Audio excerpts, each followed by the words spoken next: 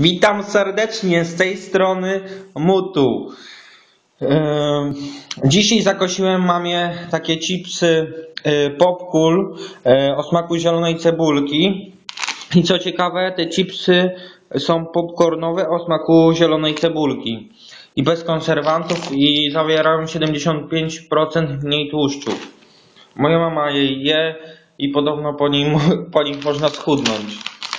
I tutaj widzimy e, 70 mniej tłuszczu, bez glutenu, bez glutaminianu e, monosodowego, nie wiem czy to widać. E, posypane przyprawą o smaku zielonej cebulki i bez konserwantów.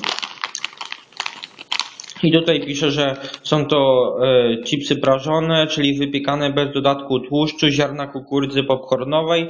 Następnie są zroszane delikatną mgiełką oliwy w celu oprószenia ich apatyczną przyprawą o, o smaku zielonej cebulki. Nie zawierają konserwantów ani glutaminianu monosodowego. Są doskonałą alternatywą dla smażonych chipsów ziemniaczanych, ponieważ zawierają co najmniej 70% mniej tłuszczu. Więc widzimy, po takich chipsach lepiej jeść takie chipsy, bo są zdrowsze. Tutaj widzimy datę przydatności.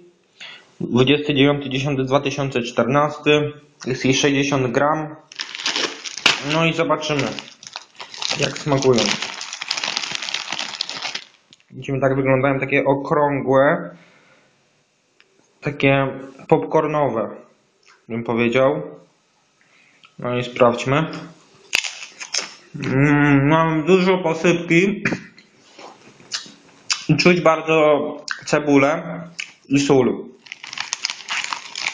Mi te chipsy bardzo smakują i Wam polecam. Jeszcze jednego spróbuję. Mmm, są ok. Możecie je spróbować, jeśli chcecie. Na pewno Wam posmakują. To byłoby na tyle. Jeśli podobało, łapka w górę.